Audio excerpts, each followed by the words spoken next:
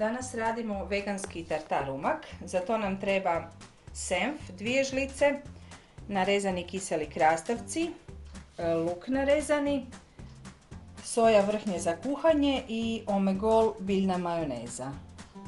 Priprema je vrlo jednostavna. Krastavce znači uzmemo i možemo dodati malo ove njihove kiseline narezani luk.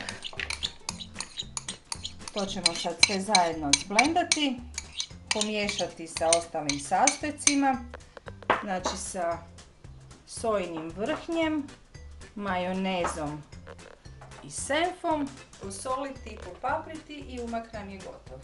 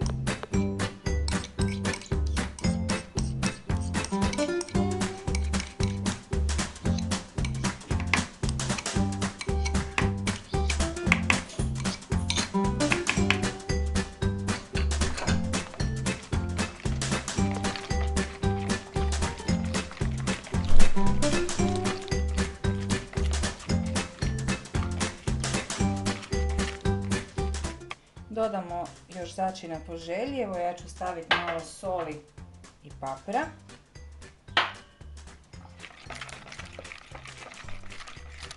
Tartar umak je gotov, još ga samo prebacimo u stijelu.